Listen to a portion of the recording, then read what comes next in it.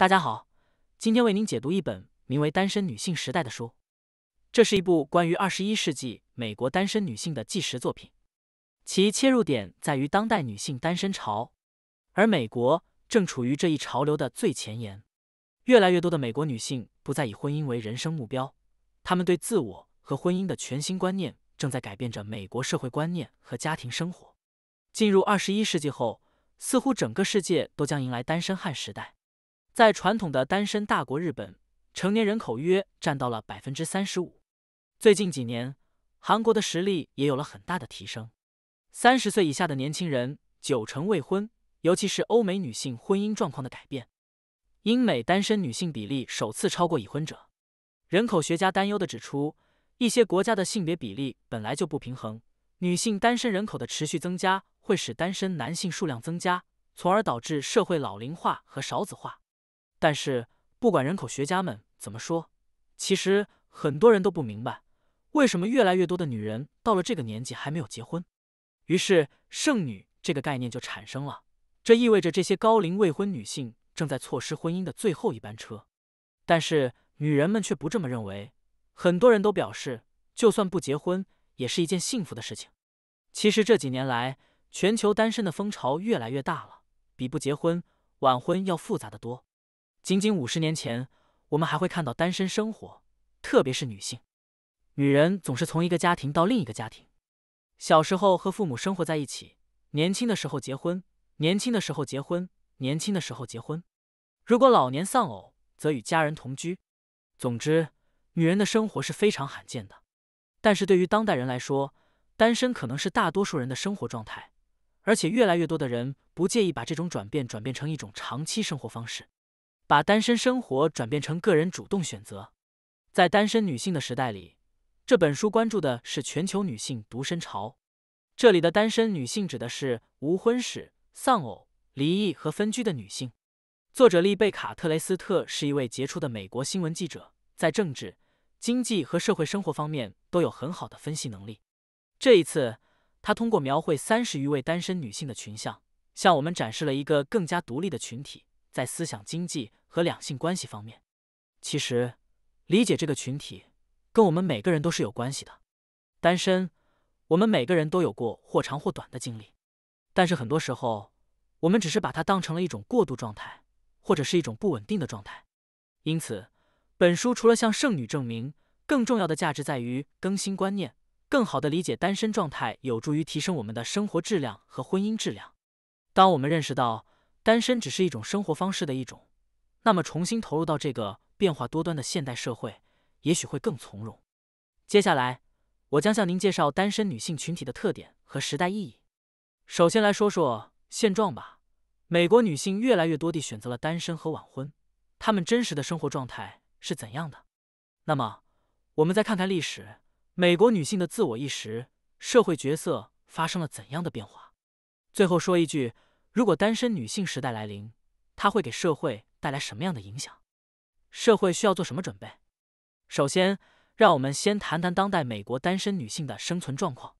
我们通常认为，在欧美结婚只是个人的事情，但是事实上，很多未婚的欧美女性也面临着巨大的婚姻焦虑。在 DJ 的单身日记里，主人宣布里奇特·琼斯一满三十二岁就迫不及待的想嫁人，在他看来。女人恋爱结婚就像是抢凳子，三十多岁还没找到男朋友的女孩子，就像是音乐停了，还没找到凳子的人在婚姻游戏里被淘汰了。但是现在游戏规则可能要改变了。我们从单身女性时代中了解到，三十岁前美国妇女结婚的可能性越来越小。根据二零一零年美国人口普查数据，美国女性只有百分之二十选择在二十九岁之前结婚。到了一九六零年代。这个数字就达到了百分之六十。尽管女性结婚年龄在迅速的推后，但主流社会观念仍未与之同步。作者列举了一些美国人对于单身群体的普遍误解，让我们一起来看看。第一种误解是，人们通常认为单身女性过着孤独而又可怜的生活，这是一种传统的看法。二十世纪以前的文学作品中，未婚的女人大多性格古怪、思想扭曲，经常被作者嘲讽。单身者的孤独其实是一种典型的刻板印象，因为孤独和寂寞是两回事。现代社会心理学通过跟踪人与人之间的关系发现，即使是完全孤独的人也会感到满足。相反，孤独感只有在社会交往的数量和亲密程度达不到预期水平时才会产生。所以，单身并非造成孤独痛苦的根本原因。良好的社交关系、深厚的友谊也能让你有足够的归属感。相反，婚姻关系。未必是消除孤独的万能良药。书中还提到了一个女人，她的名字叫做丽贝卡。她说，当她恋爱的时候，几乎所有的事情都是一起做的，从洗衣服到出门，两个人的注意力都在对方身上，导致她和外界的联系变得越来越小。她感到孤单。而在这段感情结束以后，她又开始了新的人生，通过足球和保龄球俱乐部认识新的朋友，工作上也有进步。认识了更多的新同事和合作伙伴，建立了网站，出版了书籍，生活更加丰富多彩。他这样描述他的人生：恋爱时内心最孤独，单身时最有支持、理解、欣赏。所以，有了伴侣未必就会觉得充实，单身并不代表寂寞。事实上，随着单身观念的流行，甚至影响到婚姻中的相处方式，越来越多的人希望在婚姻中给个人留出空间。新近出现的半堂婚姻便是其中之一。夫妻在城市里分居，住在一起，却又相对独立。日本民间婚姻也反映了婚姻形式和个人自由。毕业于婚姻是指在长期婚姻生活之后，厌倦生活的夫妇为了实现各自的梦想而决定分开生活。我们可以看到，单身已经不再是一种被动的选择，而是一种积极而理性的选择。人们渴望找到亲密关系和个人自由的平衡点。第二种普遍的误解是单身女性过度关注自己、自私和自恋。《欲望都市》中的女主人公不幸的成了物质和放纵的代表。剧中台词：“单身女性的路一直都很难走，所以我们需要很多鞋子，成为女性消费的风潮。”还有一种观点认为，孩子气和不理性的婚恋观念是导致女性单身的罪魁祸首。娇生惯养的都市白领们要的东西太多了，他们既想要完美的爱人。又想要完整的自我，物质和精神上的双重要求，既要有伴侣，又要有事业，这使得他们很难找到一个能让他们满意的婚姻。关于这一点，我们可以从另一个角度来看：如果把对自我的关注作为中性的表述，的确有越来越多的女性因为自我实现而推迟结婚。埃里克·克里南伯格，纽约大学社会学教授，在他的《单身社会》一书中精辟地指出，当代人对成功和幸福的追求。不再是依靠与他人的联系，而是依赖于个人是否有机会寻求更好的选择。换言之，婚姻关系不再像过去那样是获得成功与幸福的必经之路，也不再是体现自我价值的唯一载体，只是一种选择。理想的婚姻可以带来幸福和幸福，但是有意义的生活并不一定非要结婚不可。当代女性的生活变得越来越多样化，其中包括事业、忠诚的朋友、丰富的生活经验。独立的经济权利。因此，通过分析以上两个常见的社会误解，我们可以发现，对于美国当代女性来说，婚姻的重要性和必要性正在逐渐降低。这一点在经济学上也能得到有力的解释。美国经济学家贝克尔认为，人们结婚是为了最大限度的利用婚姻。人们是否结婚是为了平衡婚姻的成本和收益。当婚姻带来的利益超过单身带来的利益时，人们选择结婚。对于女性来说，传统婚姻带来的好处包括稳定的经济来源、积极的社会评价以及生育后代等。而在当代社会，随着女性经济地位的提高，精神生活与价值观念也日趋多元化。许多收入原本只能通过婚姻渠道获得，现在却被其他形式的非婚形式所取代。在这段时间里，婚姻的重要性自然降低了。同样，当我们以经济收入作为衡量婚姻选择的标准时，就可以理解为什么那么多高学历、高收入的女性成为了晚婚或未婚族的中流砥柱。曾经有人开玩笑说，女博士和女高管是相亲鄙视链的最底层，但事实上，这是因为对于经济独立的女性来说，婚姻的经济效用似乎更低。越来越多的女性开始考虑如何减少婚姻和生育对她们职业生涯的影响，所以她们选择晚婚，就是为了给自己的事业争取更多的时间。在了解了美国单身女性现状后，我们再来看看中国。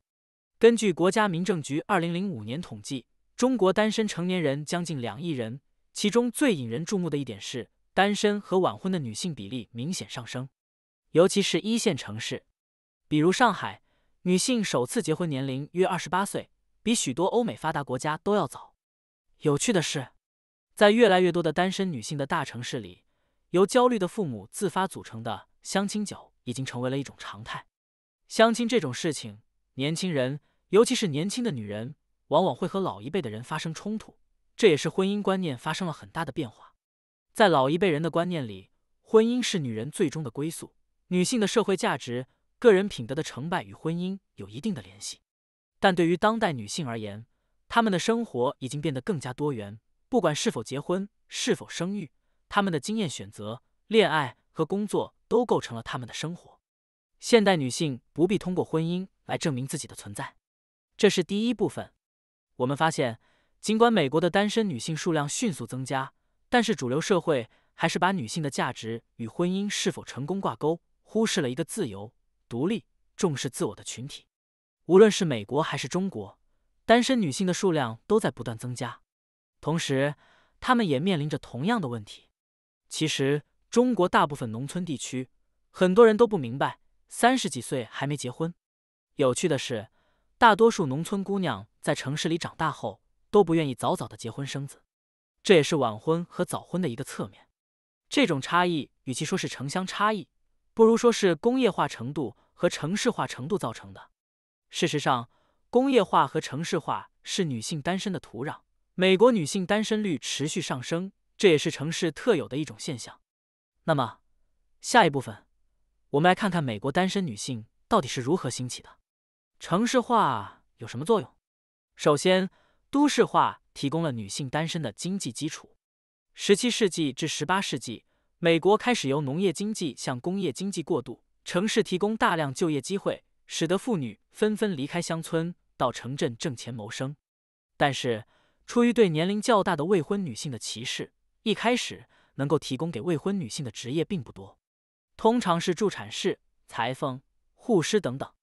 一些被认为符合女性天性的职业，对于那些受过一定教育的未婚女性来说，家教几乎是最理想的职业。据统计，一八零零年美国教师中男性占百分之九十，到两千年，女性占教师总人数的三分之一，女性占总教师总数的一半以上。这一现象的原因非常有趣，因为人们认为教师这份工作可以减轻不婚带来的耻辱。在十九世纪末和二十世纪初。美国一跃成为世界最富有的工业国家，同时发明了新的设备，使复杂的工作变得轻而易举。现在弱小的女人也能胜任。二十世纪初，纺织厂的卷烟厂里一半的工人都是女性，而且这些女人大部分都是未婚的，因为她们是最廉价的劳动力。城市能够提供的工作种类越来越多，随着打字机和电话机的发明，女性开始大量涌入。并垄断了政府部门如打字员、电话接线员等职业部门的扩张。可以说，工作机会让女性成为单身女性的资本。据美国人口调查局统计，二十世纪头二十年间，未婚者总占就业妇女的百分之六十以上。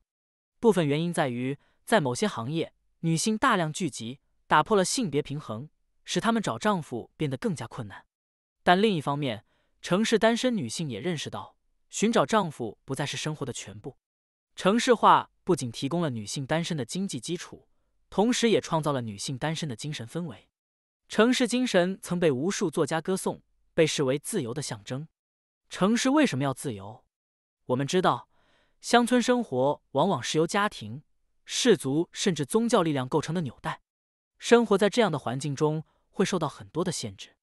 在这样的环境下，个人难以离清叛道。承受巨大的家庭压力，并被社会孤立。城市是一个巨大的熔炉。此外，都市生活给城市居民带来了一种对新奇事物的渴望。传统上，人们对未婚女性外出工作的态度既有歧视，也有反感。但这种心态在二十世纪初的城市化浪潮中迅速消退。当时，纽约中产阶级妇女乘坐有轨电车上下班是一种既时髦又令人兴奋的浪漫生活方式。在这种氛围的激励下，都市女性的自我意识开始懵懂。她们开始认识到，除了婚姻之外，这个世界还有生存之道。她们渴望走出家门，开创属于自己的新故事。而另一些为生计而苦苦挣扎的女性，自我意识的觉醒与个体命运、权利保障息息相关。二十世纪初期，美国的工厂只顾着扩大生产规模和增加利润，压榨女工已经令人难以忍受。一天工作十五小时，工资不足男性一半，工作环境恶劣，安全设施缺乏。在城市自由的精神影响下，人类的权利和女性的权利已经不能再被忽视了。于是，女工们开始团结起来，要求罢工，反对恶劣的工作环境。一九零八年三月八日，国际妇女节的前身是纽约的针织业妇女游行。一九三一年三月的一场大火把美国妇女运动推向了高潮。当时，一家女衬衫厂为了防止偷窃，把工人们锁在工厂里，使工人们无处可逃。大火造成一百四十六名工人丧生，其中大部分是三十岁以下的女孩。这场惨烈的大火让社会各界开始关注人权和女性权利。在女工们不懈努力下，他们终于获得了真正的政治权利。一九一八年，美国国会成立妇女局，这些女性的奋斗和奋斗也改变了美国性别政治的走向。一百年后的今天，城市里的就业机会已经不多了。实现自我实现不再是一个奇思异想，城市化的趋势使单身生活更加便捷，适合单身人士居住的小公寓比例也在不断增加。便利的餐饮连锁解决了一日三餐、洗衣房、快递、家政服务，全方位支持单身生活。人们越来越不需要伴侣的帮助和支持，这进一步降低了人们对婚姻和家庭的依赖性。这是第二部分，我们回顾一下城市化。对女性单身带来的种种条件，从经济基础上讲，都市化为妇女提供了就业机会；在主观意识方面，城市精神提供了人们寻找自我和实现自我的精神土壤。如果说女性单身潮是社会发展的必然趋势，如果单身女性继续发展下去，会给社会带来怎样的影响？社会需要做什么准备？这是第三个问题。如果很多女性选择单身，会有什么后果？首先，生育率下降是肯定的。与不结婚相比，人们对传统家庭观念的挑战更多的是担心女性晚婚晚育不孕会对人口结构造成不可挽回的恶性影响。晚育使家庭子女数量减少，随着女性年龄的增长，不孕的几率会增加，孩子的染色体异常和发育异常的风险也会增加。请注意，高学历单身女性并非对这些问题一无所知，但在经济发达地区。生育率几乎一直处于低位。二十世纪五十年代，美国社会曾把女性的成功归咎于生育子女，大力赞美母性的光辉。现在这种想法恐怕已经不管用了。当代职业女性非常清楚生育会带来怎样的职业停滞不前、争分夺秒、精力消耗。相比较而言，人口红利对于个人来说，对于国家和社会稳定来说，实在是太遥远了。不仅如此。当代女性不再只想做母亲，她们更希望成为自己的一员。所以在生孩子这件事上，有些女性主观上并不想生孩子，而是想要实现自己；但是有些女性，尤其是单身女性，她们想要生孩子却不敢生。一是生育成本太高，需要考虑到自己的时间、精力，甚至是财力是否能够负担得起；二来很多国家都有限制单身女性生育。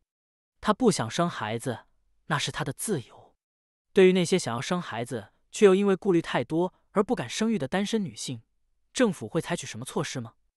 瑞典的做法或许能给我们一些启示。瑞典七十年代后期开始实行婚姻制度改革，同居关系的法律效果得到广泛承认，通过相关法规保障非婚生子女和妇女的社会权利。三十年之后。受此政策影响的女性陆续进入生育年龄，现在百分之七十以上的女人都是同居或者是单身母亲。由此可见，不生孩子只是自由的一面，而另一面则是自由的生育下一代。